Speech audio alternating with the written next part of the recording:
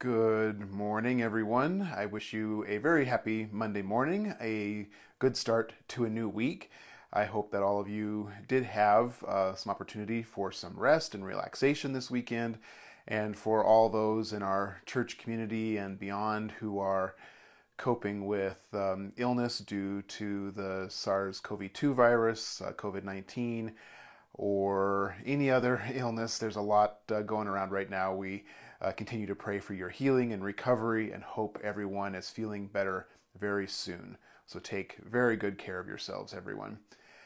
So, this is the second full week of January, and it feels, at least to me anyway, like, okay, we are now in the new year. Uh, no holiday days this week, no days off, uh, no snow days, probably looking at the forecast. So, here we are in the new year. And so, as we are firmly sent, uh, settled into this new year with our feet on the ground, I want to share a prayer with you, a prayer titled, A Prayer for Now. A Prayer for Now. This is a prayer written by a friend named Kent Phillips. Um, and it's a prayer that he wrote uh, to be used on New Year's Eve, the, the final hours of the past year and the first hours of the new year but I think this works really well for this week as well as we feel more grounded and settled into a new year.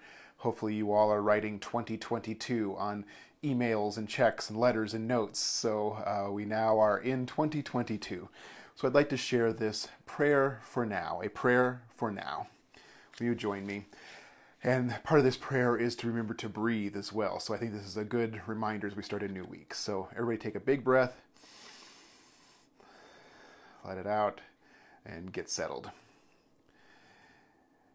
This day you give me, God, beyond time, this hour, this moment, this breath, this thought. Help me to be here and nowhere else, with blessing before me, divine presence within me, eternal love around me, endless light shining through me. O God, beyond calendars and clocks, let me dwell often enough in that realm where there is only now. In you, help me to breathe in and breathe out your spirit, that I may find my roots and wings in you. Help me to embrace the time that is mine, here and now, however long or brief, knowing that all my time is enough, is a gift, is yours. Give me grace enough to live in the moment, to trust you always, to see you in each encounter, to find you in each person, to seek you in every circumstance, to live well all the time. You have given me now. Amen. I love this prayer, this prayer for now, especially the lines uh, Help me to embrace the time that is mine, that my roots and wings are in you. Isn't it a beautiful image to just uh, understand that we can be rooted in, in God, that source of all being, um, and also uh, those that God gives us wings to to soar, that God desires um, that fullness of life for each person.